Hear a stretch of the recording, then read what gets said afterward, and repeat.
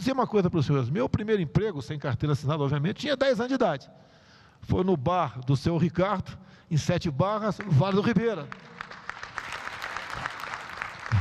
Eu estudava de manhã e à tarde, né, para as duas da tarde até umas seis, sete da noite, a, a, a, tinha pouca gente no bar, né, a galera que gosta de uma birita chega um pouquinho mais tarde, né?